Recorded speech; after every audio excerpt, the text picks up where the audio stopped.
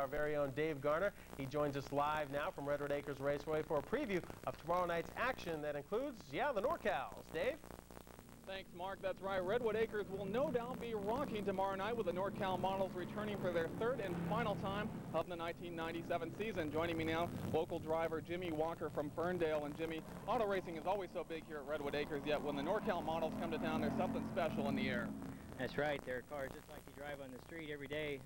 They've got a lot of horsepower, they go fast, and they're usually a lot of fun to watch. They'll have a good field. Now, you've been racing for about 30 years now. What is it that gets you so excited about this event? Well, just it's been a lot of fun over this, these 30 years, like you say, and uh, I just a lot of fun yet, so that's why I keep coming back. Let's talk about the competition now. Roughly 24 drivers out there. What's it going to take to get a victory? Well, it's going to take a, a, fast car and uh, no problems like flat tires or hitting the wall or something like that. Finally, let me ask you this. Ron Turner has graciously allowed me to drive around the track for a few practice laps. In about 15 minutes from now, any tips on how to race?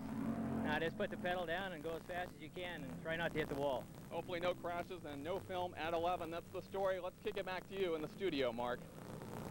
Thank you very much, guys. The action happening tomorrow. Gates open at 3, time trials at 5, racing at